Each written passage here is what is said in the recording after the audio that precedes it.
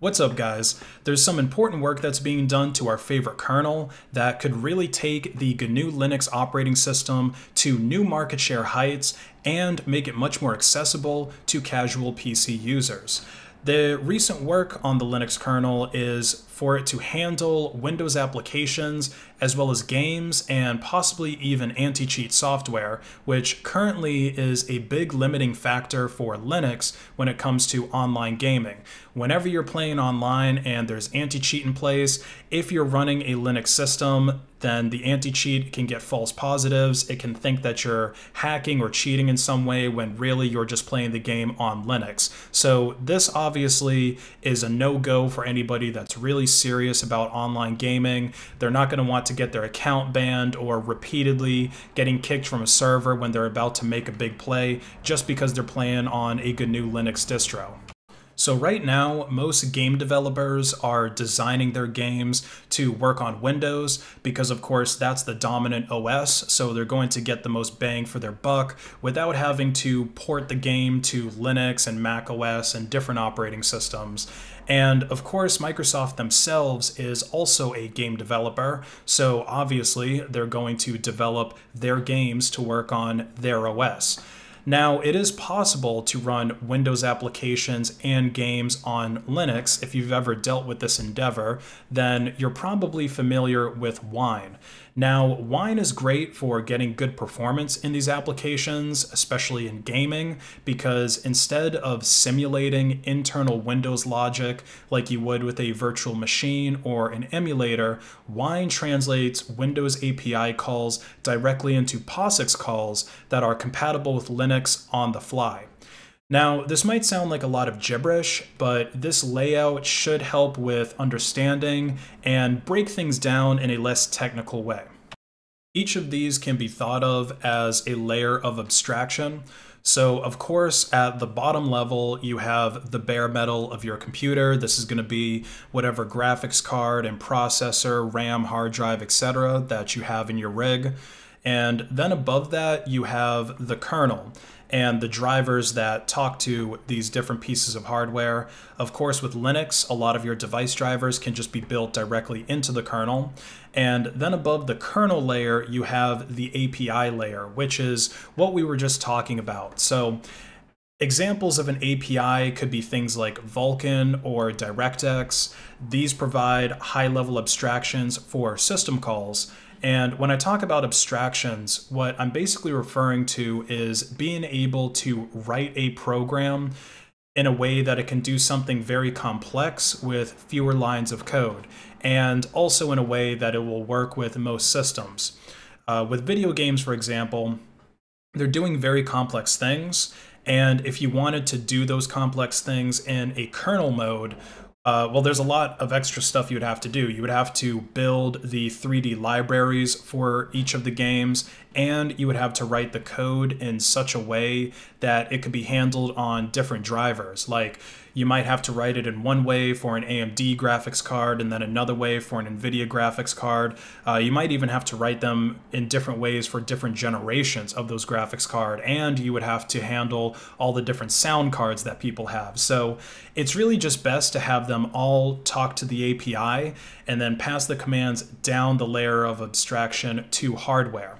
Um, now, newer Windows games and applications, they are being coded differently. A lot of them are making system call instructions from the application code uh, without resorting to the Windows API. And the result is broken wine support because if an application isn't making Windows API calls, then there's nothing to translate into POSIX ones at the API layer, which is where Wine actually operates. Since these applications are making system calls, they are expecting to talk directly to a Windows kernel. And of course, on GNU Linux, we're running the Linux kernel. So when these calls are made, the result is the commands being misinterpreted and producing undefined behavior, which usually is going to cause a glitchy gaming experience at best, or at worst, just cause the game to crash. But now a solution for these system calls is currently being worked on and it's going to be added directly into the Linux kernel. So this solution is called syscall user dispatch.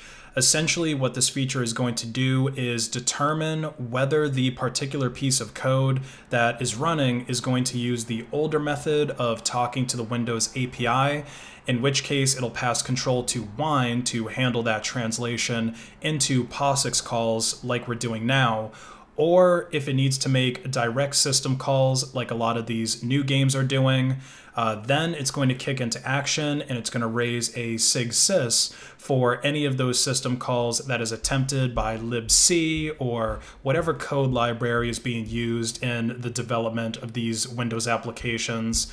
Um, so then it can talk to the kernel and do what it needs to do. And this should be more effective than some of the previous ideas like having pat having Wine patch a game at startup so that the game code would just get converted to something that is forced to try and interact with the Windows API instead of making the direct system calls.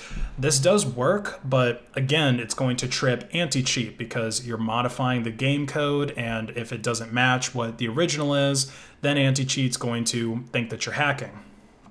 And obviously, if anti-cheat is tripped, you're not going to be able to play online. And this should also be better than filtering the syscalls through seccomp, which was another idea.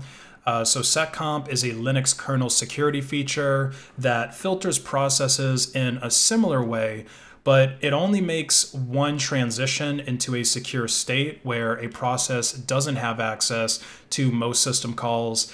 Uh, it can only exit to do a SIG return or read and write to file descriptors that are already open. So this isn't as efficient for passing control between wine and system calls. It results in multiple switches between user space and the kernel, which will cause a big impact to performance and result in much lower frame rates in games. Now, and also like most security features, seccomp is really just best to use for security and not in situations where you want high performance. So in summary, this syscall user dispatch, it could provide much better performance in games and Windows applications, as well as just them actually working than the current methods that are in place on Linux and it's going to make gaming, especially online gaming, much more viable on GNU Linux. So you might be wondering, when are we going to get this amazing feature added to the Linux kernel? Well, we should be seeing it as early as version 5.11. Uh, currently, the mainline kernel is on version 5.10, but if you've been following this channel for a while, you know that the Linux kernel is updated very often. Uh, it seems like just a couple of months ago, I did a tutorial on upgrading my kernel version in Gentoo, and I believe in that video I upgraded from I upgraded from 5.7 to 5.8. So we're probably going to see 5.11 come out early next year. And if you're running a rolling release distro like Arch, uh, that's always on the bleeding edge, then you're going to have this kernel available to you shortly after it comes out.